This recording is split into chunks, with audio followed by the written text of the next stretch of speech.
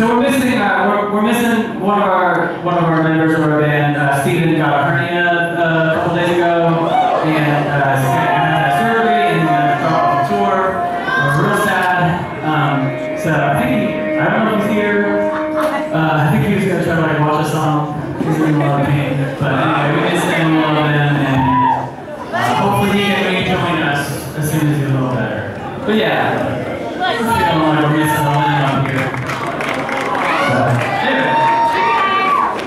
Trying to bring down the mood so. Since I can make it fit in again.